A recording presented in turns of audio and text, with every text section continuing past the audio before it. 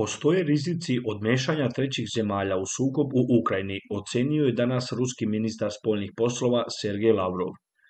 Šef ruske diplomatije tvrdi da kijevski režim traži od svojih zapadnih pokrovitelja da se umešaju u sukob i ocenio da to prevazilazi sve granice pristojnosti i diplomatske komunikacije, kao i da predstavlja direktnu provokaciju za uvlačenje Zapada u neprijateljstva, prenosi agencija RIA Novosti.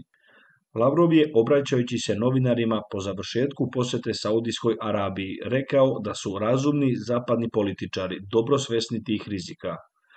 Nisu svi, da budem iskren, u Evropskoj uniji, posebno u njenom severnom delu.